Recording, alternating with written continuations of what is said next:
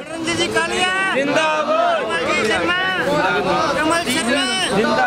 ਇਧਰ ਆ ਪਿੱਛੇ ਆਓ ਇਧਰ ਆਓ ਦੋ ਮਿੰਟ ਤੇਰੇ ਨੰਨੂ ਜੀ। ਪਾਰਟੀ ਦੇ ਨੰਨੂ ਜੀ। ਸਿੰਘ ਜੀ ਨੰਨੂ। ਜਿੰਦਾਬਾਦ।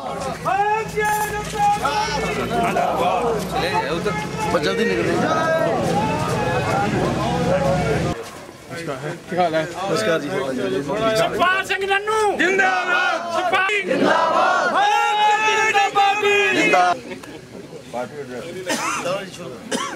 ਆਦਮੀ ਮੰਤਰੀ ਜੀ ਮਨਵੰਜਨ ਜੀ ਕਾਲੀਆ ਜੀ ਉਹਨਾਂ ਨਾਲ ਸ਼੍ਰੀ ਕਮਲ ਸ਼ਰਮਾ